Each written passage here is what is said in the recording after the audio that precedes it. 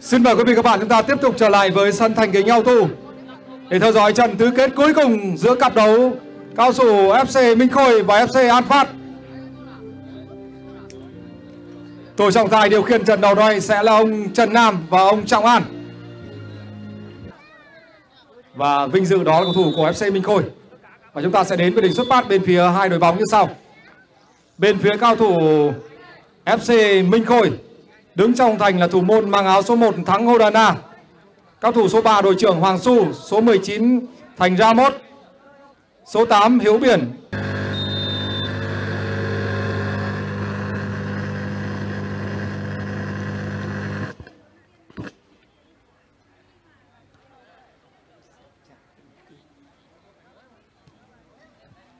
Như vậy trận đấu đã được bắt đầu.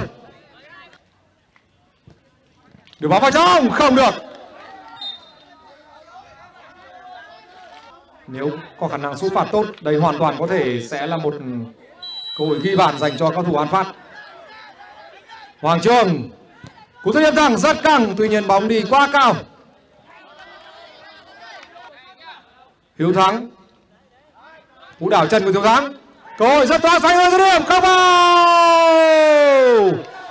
Cú dứt điểm cận thành đầu tiên của các thủ An Phát. The Bluetooth is.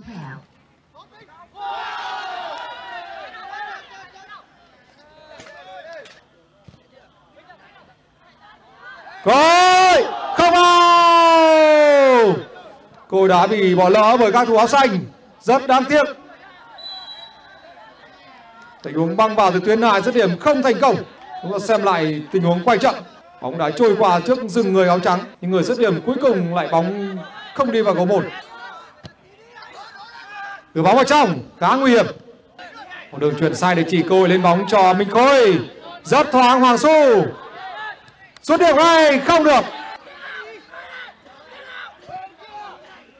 Đánh đâu khôi không được. Đó là pha băng vào của cao thủ Minh Khôi rất chính xác. Đưa bóng sang biên. Xuất điểm không được. Vừa rồi bóng đã chạm cột dọc. Rất đáng tiếc cho An Phát. Sau rất nhiều tình huống chơi bóng mà từ hai bên thì đã có tình huống rất điểm cận thành. Rất may cho Minh Khôi, bóng đã đập cột dọc. Giật gót, cối hội, có bàn thắng không vào. Cuối cùng thế bế tắc của trận đấu đã được khai thông. Bàn thắng bởi số rất đẹp mắt của FC An Phát. Quá nhiều cảm xúc cho các đồng động viên của An Phát sau gần 50 phút chờ đợi. Cuối cùng thì bàn thắng đã được mở trên sân thành kính Auto ở trận tứ kết thứ tư này. Một cú dứt điểm rất gần và không thể cản phá, không cho cơ hội cho thủ thành thắng Ona bên phía cao thủ Minh Khôi. Xuất phát từ tình huống đá biên và pha rất gót đã tạo thành một đường kiến tạo quá tuyệt vời cho số 12. Đó là Văn Thắng. Có lỗi phản ứng từ huấn luyện viên Lâm Hữu Khánh. Đứng trước bóng là Hoàng Su. Đưa bóng vào đánh đầu không được. Rất đẹp từ xa.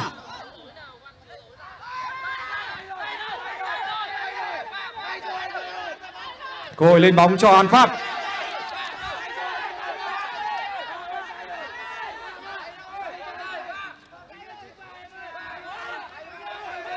Và xem lại tình huống lộn xộn này. Như vậy tổ trọng tài quyết định sẽ trách va để xem tình huống này như thế nào.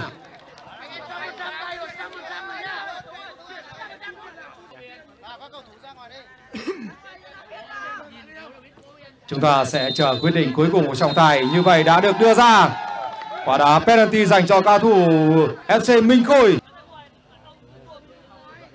Chúng ta sẽ chờ đợi Hoàng Su đối mặt với thủ thành Thanh Đạt.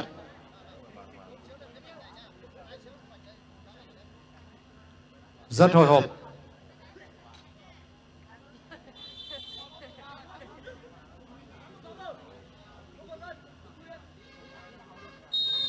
Hoàng Su không vào.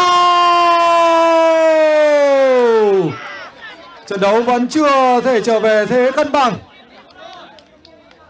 quả đá penalty không thành công của Hoàng Su trước sức ép rất lớn. Rõ ràng, Hoàng Su đã không thể được thành công quả đá penalty. Và Minh Khôi vẫn đang bị dẫn trước 1-0 vẫn đang chờ đợi tình huống đá phạt này của các thủ áo trắng. Nhiều Việt đưa bóng vào, không được. Pha bóng xuất sắc của Tiểu Thành Thành Đạt.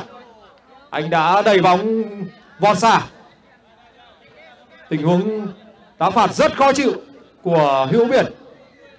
Hoàng Su đưa bóng vào, không được. Đứng trước bóng là Hoàng Su phản phẩm tuyến hai rất đẹp này, không được.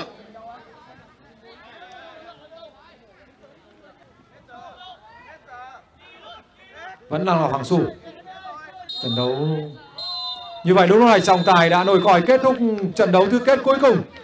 Của giải bóng đá Nông Công League mùa thứ tư năm 2023 tranh cúp gem thời đại kết quả cuối cùng các thủ án phát đã vượt qua FC Minh Khôi với một bàn thắng duy nhất do công của Văn Thắng ở phút thứ 50